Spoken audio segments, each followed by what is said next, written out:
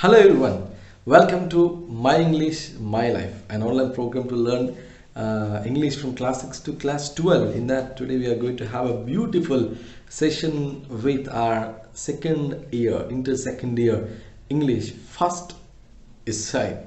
Uh, it was a beautiful one which was written by Aziz Azim Premji. We can say he was one of the leading uh, writer and educationalist, we can say uh, a philanthropist, the tycoon of business tycoon, a great man. Actually, one more video has been uploaded by uh, in the YouTube uh, from this lesson response instead of reacting, which was written by same Azim Premji. So this is a new edition of the textbook. So today we are having a beautiful one that is called Dancing in the Rain. The entire essay, so I'm not giving a, a brief uh, explanation. So I'm going to give a detailed information regarding this essay. So this dancing in the rain was a beautiful essay which was written by Azim Premji. So here he is concentrating on one of the major issues or is called child labor.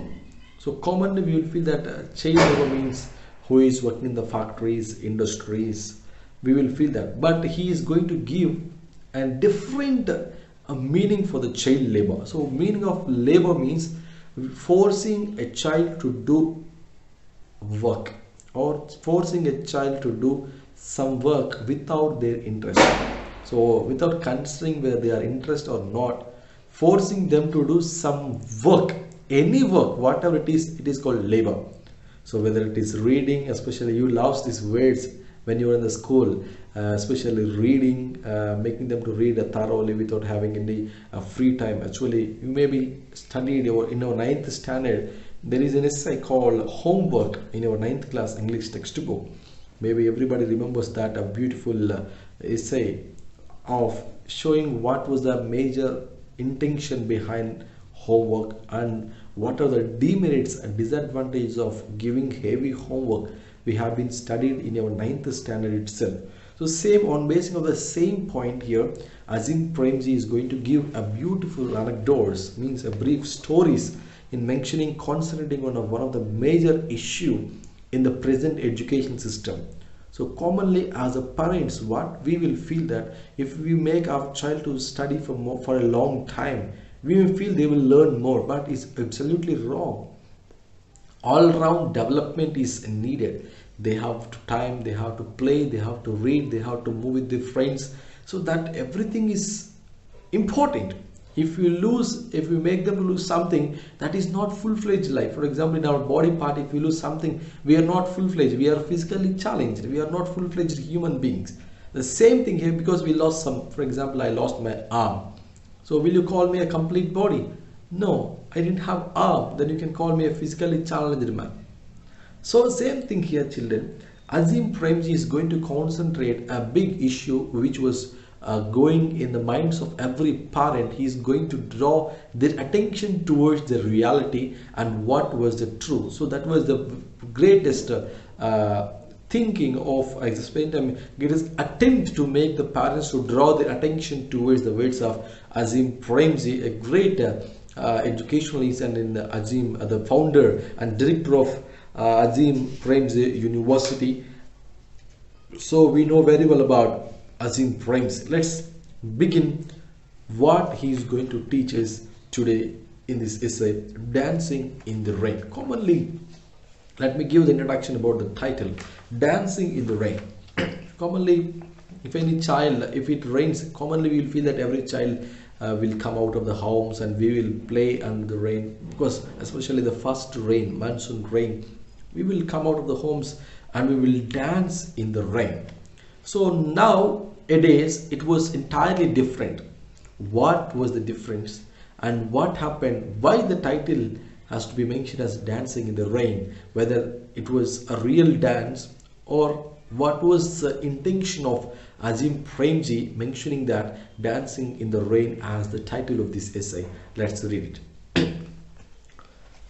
One often hears of the high prevalence of the child labor in our country. Of the many reports I have read, perhaps the most disturbing was a report on the condition of child employed by Zari factories in Delhi, Mumbai, and other parts of India. It grieves me to imagine children exposed to such inhumanity. So now he heard in the news and he read many articles that showing that many many children especially in our country in our own country were working in factories especially in the metropolitan cities like mumbai hyderabad we can say that hyderabad delhi and other parts of india they are working in the factories especially we call as child labors. Imagine children my dear friends you are now 15 16 years old maybe plus 2 so you're nearly 17 years old. So when you are looking about your same age or below your age maybe many times we have seen uh, children working in the factories industries shops especially restaurants hotels. We have seen many times when you have seen them what was your first reaction? When you look at a child who is working in the shops or in the factories or in a hotels restaurants or anywhere else what was your first reaction when you look at them? What was your first reaction? Maybe you feel uh, courtesy towards or kind towards them or will you go for asking them what is your problem? What made you to work here? Why you came to work in this place? What was your reaction when you look at a child uh, at your age or below or above your age? What was your first reaction? Maybe you may not consider that as a problem. Or sometimes we may feel if you are a little bit uh, uh, humane means very kind immediately will go and ask hey tell me what happened why you're working here? Uh, do you have any problem? Or you don't have money? Or why you are working in this place? Or don't you have father mother? We will ask sometimes. Of course i will ask definitely. And if it is a, a common problem definitely i will make a call to 1098 uh, the child helpline. Immediately uh, i will inform them because a child should get education. That was very very important that was very very important. My sincere advice for you if you have seen any boy or any girl uh, below 15 16 years who are working in the shops or in the hotels or anywhere else you just inquire and give information to 1098 a child helpline and make them to get education. It is your primary responsibility. If you do that really it was very happiest thing because because of you somebody will get education. Because of you somebody will get some position in their further lives so you will be very happy for that. And the boy or girl who you have saved their life there will be a greatest thing in your life. You never forget that. So here Azim Premji has been concentrating on the same thing here. He had read many articles and heard in the news channels that the biggest problem in India is child labor. So let us see what he is going to give us an explanation regarding child labor because all they're working in the factories. And he is going to give us another illustration regarding child labor let's read it. Robbing children of their childhood is a criminal act and our society must weed this malice out of the root. But where does the root lie? Before you attempt an answer let me give you an anecdote from the other end of the social spectrum. So what is a child labor means very simple explanation here given robbing a childhood means taking away one's freedom. Very simple. Taking away one's freedom is called child labor. Especially child's freedom is a child labor. Nowadays it was very very common uh, in our india because we are taking everybody's time. As a friend you will take your friend's time and you know other thing a child is not having any time to do their own work. Let me give he is also giving a great explanations uh, by giving some anecdotes. Means a small stories a brief stories uh, which he had seen in his own life. Means in his family who are working in the company. So he had seen a, a, a girl who is working uh, in his company's father's daughter so he's going to give an example for this so what is his intention regarding child labor. Maybe we may think that child labor is working in factories, industry, something, but he is going to give us another explanation regarding child labor. Let's see it. a colleague, a colleague in Wipro has a child studying in the standard of nine of a reputed school in Bangalore. The child wakes up at 5 a.m. and studies for an hour before going to school. She returns from school at 4 p.m. and rushes for her IIT entrance exam coaching class. At 6 p.m., she has tuitions for 2 hours. Post dinner, she spends an hour or more on homework. I asked her when she gets time to play. She replied that she doesn't play. She gets half an hour for free time each day, which she spends watching her favorite serial on television.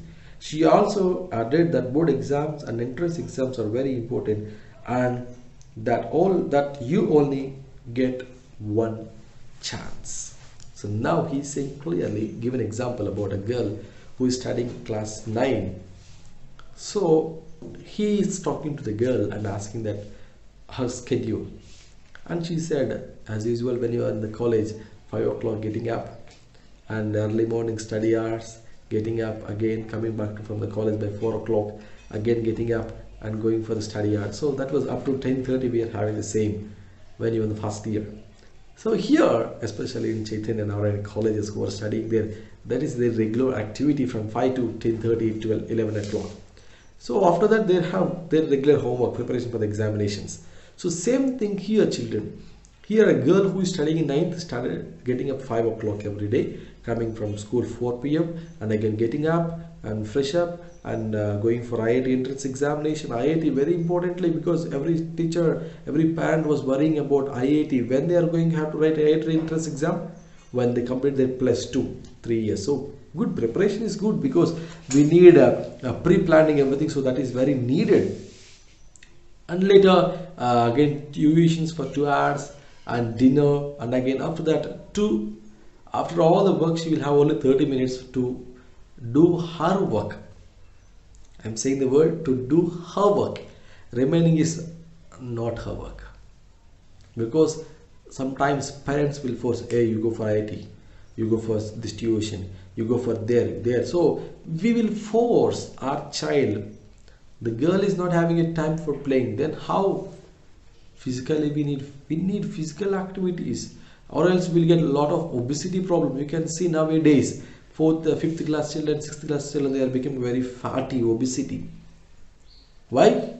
They're not having physical games. Most of the schools they're not even having pt times. They didn't have any physical education time. Nobody knows. In some reputed colleges school in schools nobody knows games. Because they didn't have time for playing games. They will feel that playing games is uh, wasting of time. Playing games is wasting of their energy. They will feel that only reading, reading will give them marks. Marks is important than everything. They will feel. They will feel that. So here Azim Premji is giving an illustration about a girl's life here. She is having a 30 minutes of time per day in 24 hours she is having only 30 minutes to do her own work that is watching tv free time then remaining all study study study study study. Of course we need education. At the same time we need everything. I said i said if i lost something in my body i am not full-fledged. I am physically challenged. So games are needed. Free times needed. Spending with friends moving out with friends playing games uh, spending time with television in front of television or talking with parents father mother. So these are all very very important. Without all these things if they are forcibly making them to do some work that is called child labor. Here Azim Premji is giving a, a great uh, different meaning for child labor. We will feel that we will consider that till now child labor is working somewhere. But if anyone takes any child's freedom that is child labor. Here the girl is forcibly forcibly making to complete the tasks tuitions, IIT entrance and classes and she was saying that uh, entrance exams is only once we can get a chance. Later we won't get a chance to write an entrance exam or board exam. So we have to be very well. Of course we have to do be very well. But at the same time we have to know all our important. Physical activities are important. But nowadays there was no physical education, physical education for many students, especially who are studying in the reputed schools. They didn't have any time for playing also. So how pathetic situation we are in now a days. Is the condition of the child different from the child in a zari factory? So straight question. So there in the factory, who is working in the factory? They are forcibly working there in the factory from morning to evening. The same thing here, the girl also working forcibly from morning to evening without any break, without any uh, relaxation, without any free time, continuously from morning 5 to 9, uh, night 11, or 11 o'clock or 12.30, she was working. So then what was the difference between the boy or a girl working in the factory and about regarding this girl? There was no difference. There was no difference. So this is called child labor. This is called child labor. When I look at children, I wonder whether they have time to play with friends, to meet interesting people, to explore the world, and to follow their curiosity. When the first monsoon showers begin, I would think that the street would be full of children rushing headlong into the rain, dancing and playing. However, I think today the rain falls on empty streets. So here the title came here the why he said the dancing in the rain so commonly the first monsoon rains everybody will be uh, out of the homes we will play under the rain but now nobody was coming out of the rain out of the homes because they have busy works reading reading reading reading reading reading so now everybody was busy in their work so nobody was coming out and playing dancing in the rain it was raining Rains fall on the empty streets. Nobody was in the street. When it rains, olden days, we can see uh, we have many songs. We have many songs. We have seen many songs there uh, in the rain. So if it rains, everybody will come out and they will play. But nowadays, nobody was coming out. Nobody, because they don't have free time. Everything was taken away. There was a famous dialogue uh, uh, in a movie called Bommarillu and there the hero will say everything has done by you nothing you didn't give any chance for me you only selected my dress. You only chosen my study. You only chosen what i have to do. You only chosen me what type of which type of bike i have to wear. You have chosen everything even from my shirt pant watch and everything. Everything what i have to do you have chosen everything. Then where is my time? Where is my choice I have my own interest. I have my own uh, something to think, something to do. I have something in my mind, but you didn't have any preference for myself. You have chosen everything. Nowadays, it was very, very common. If a boy burns, if a girl gets, immediately they will choose, ah, I want to make you doctor, I want to make an engineer. No parent is asking the child what was his or her interest. As a parent, we have to know their interests in which field they were interested. May feel that only engineering, doctor is the greatest profession in the world. What about play? So we need every profession. I'm saying one more word, please keep in your mind. Professions won't make you high or great. The dedication, the commitment, what you have given to the profession will make you high. We have many cricketers, but we will remember Sachin Tendulkar or MS Dhoni because they given something to the they contributed something to the cricket. We have many presidents of India, but why we are still remembering about uh, APJ Abdul Kalam? We have many prime ministers, still we are remembering Jawaharlal Nehru because the commitment what they have given to the profession, to that field, that was important. So nowadays every parent was thinking that engineering doctor, engineering doctor, engineering doctor. But you know, know what is your child's interest ask them whether they want to go for engineering whether they want to do medicine whether they're going to choose any singing uh, singing competitions or whether they're going to choose a music industry. So what is their interest? Please ask your child. Let them talk. Let them share their feelings. Give a free time to talk. Then you will come to know the real interest of your child. Nowadays everybody was doing the mistake. That is called child labor as a parent, as a mother, as a father, you are forcefully making your daughter, your son to do something that is called child labor. It is a biggest criminal act. Next here, this is my friends. In the new Indian reality in our villages, in our slums, and in our metropolitan high rises. Whatever the reasons, poverty, uh, societal aspiration, apathetic individuals and organizations, or just the burden of circumstances, the reality is that our children are straitjacket. So here, our children become very, very restricted. We are not allowing them to go out of the home. We are not making them to talk with their friends. We are not allowing them to play with their friends because, oh no, don't go with them. They are very bad. Don't go with them. They will spoil your life.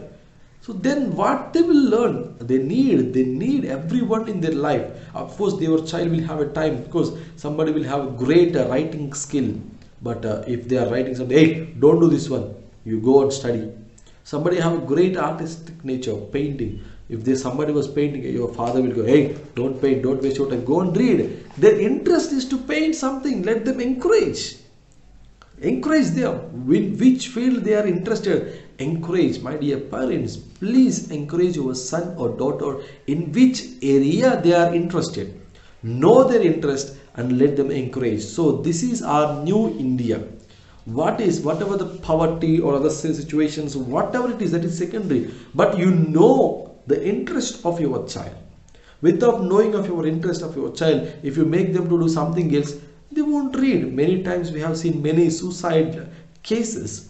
Forcibly they are joining in some colleges, they are making to study for engineering or medicine. Their interest is different and parents' interest were different. So with that forcibleness, many students were committing suicide because unable to uh, control the emotions.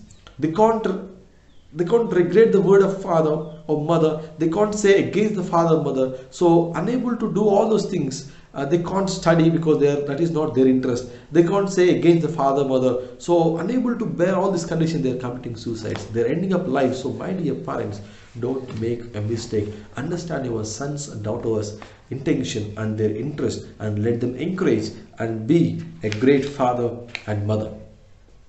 The final indicator of a country's independence is the way its children live.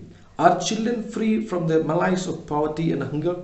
Are they free from the burden of parental aspiration?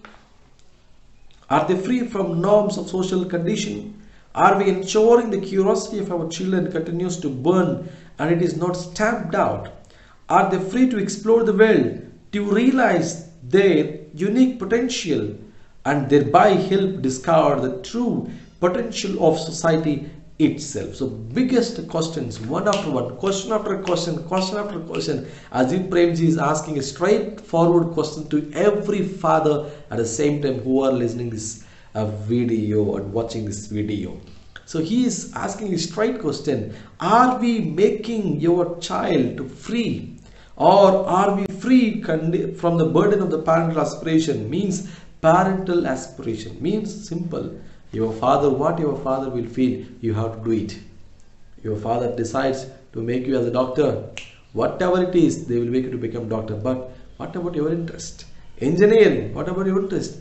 Or some other physician or some other doctors whatever the field. Most probably nowadays every parent is interested in engineering and doctor if all become doctors if all become engineers who will teach for them? We need teachers. How they will get entertained they need players. Any game they need musicians. Every field every profession is great in my sense. Everyone we need. Everyone is needed in the society. If no professions only doctors engineers what about the society? Where will you get entertainment? Where will get enjoyment? Where will have fun? Where will have comedy? Nothing will be there. Only reading doctor and medicine engineer. Finish so that is not the real life. So that is the biggest question he is asking that uh, and are we free from the norms of social conditioning? Especially this social conditioning are very very uh, common in every family especially orthodox families. They won't allow the son or daughter to go out of the homes and talk with the friends to have a free talk. So because they can't share everything to us. We as a parents uh, they, as a son daughter they can't share everything to you. So they will talk to their friends they can share their problems and they can because same age group they can discuss everything clearly and they can be free from the same situation. But we we didn't give any time. We won't give the time to spend with the friends. We won't make them to go out of the homes. So that is the biggest problem what we are making and what the problem we are facing from the parents side. So gandhi said that the greatest lessons in life are learned from children not from the learned way. A child will fearlessly try before giving up. As adults fearing failure, we give up even before we try. A child is inherently curious about the world, about relationships, about wanting to understand how things work. As adults, our blinkered and conditioned self prevents us and from truly exploring without prejudice. For a child, what she does is meaningful in its own right. As an adult, we useless, usually link every action to an external reward of money or recognition. So here, he remember one more word what Gandhi had told to us.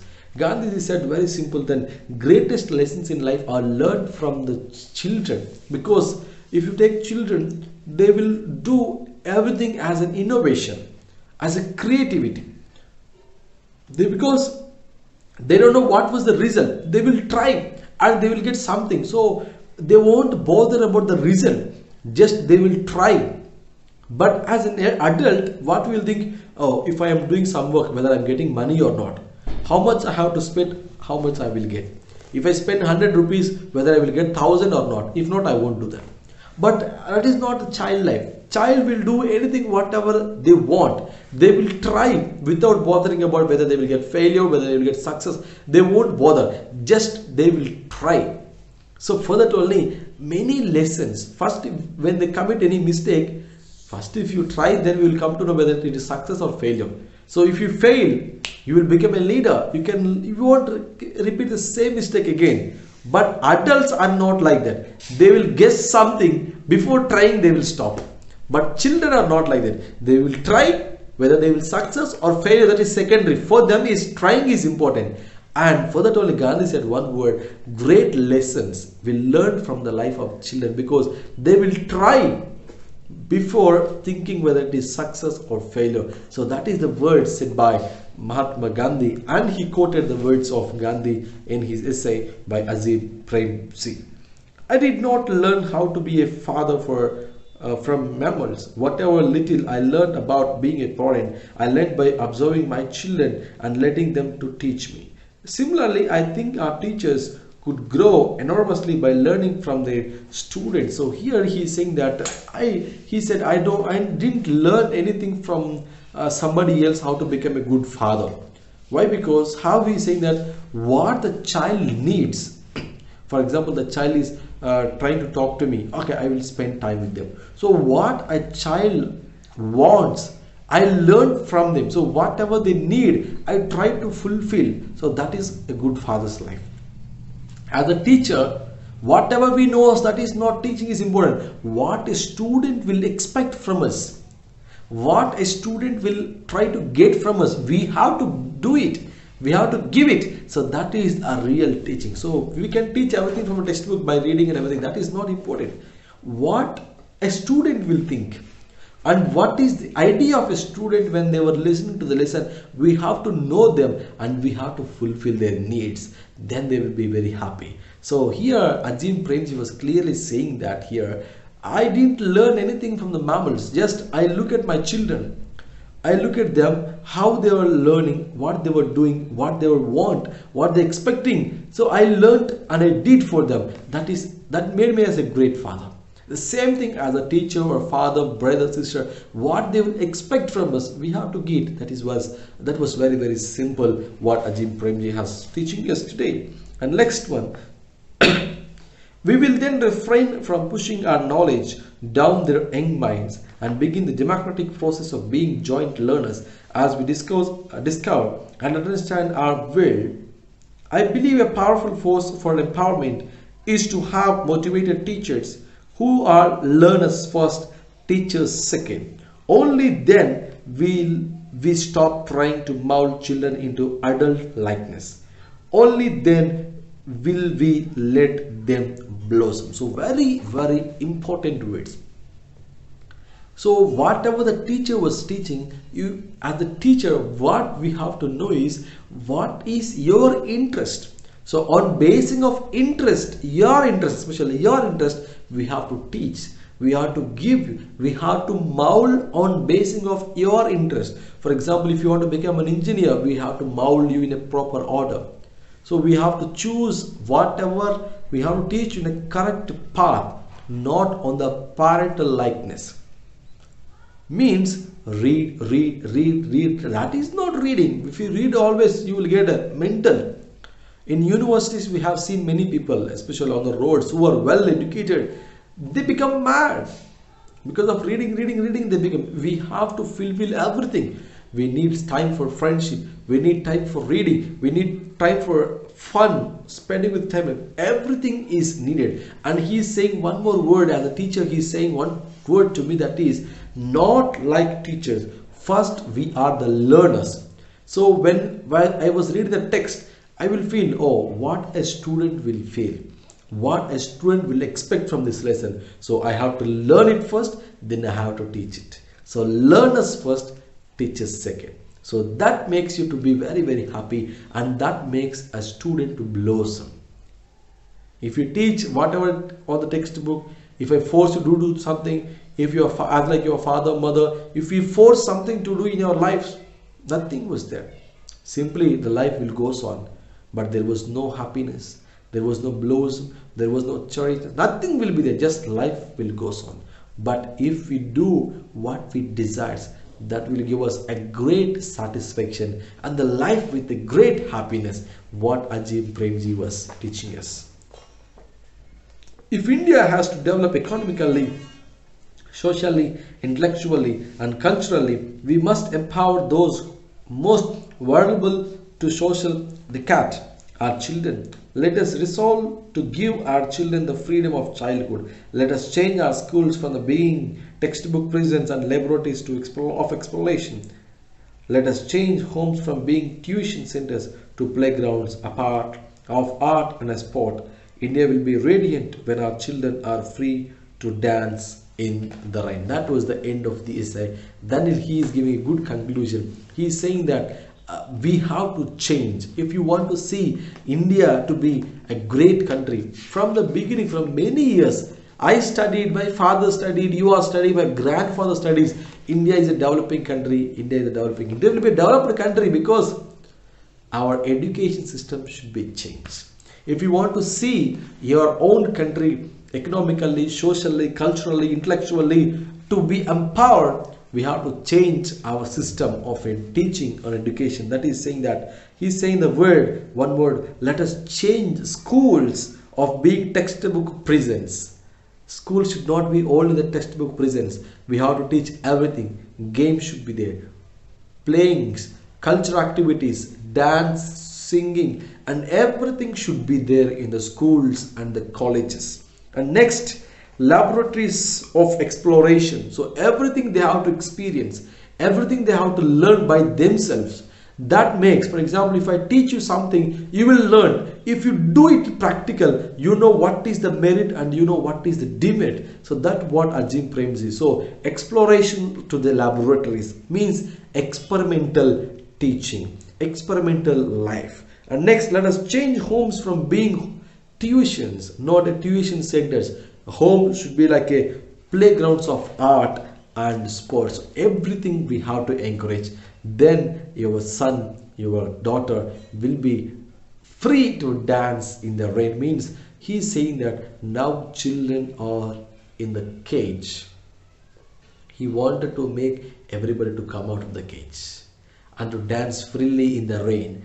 And when a child will come out of their home to dance freely in the rain, that is the real independence and there will be no child labor. Now we are seeing that we are in the child labor system forcibly everybody forcibly reading forcing them to read read read read read continuously for hours together hours together. We are reading reading reading reading. But what about their physical energy? By continuously reading what about their physical activity? They will become obese they're becoming obesity and becoming very fat. And unhealthy because of they're getting many diseases. You can find nowadays uh, below 20 year they are becoming diabetes patients sugar bp because of all these systems so we have to change. Make your son, make your daughter to free. And as a student, choose your goal. Don't choose anything by your father, mother force because they can't study for you. You have to choose your goal. You have to choose your aim and you have to work for it. So choose what you want to become in the future and make and convince your father and reach your success in the future days. I hope you enjoyed this lesson please share and subscribe and hope you i will meet you in the next session. Until then bye bye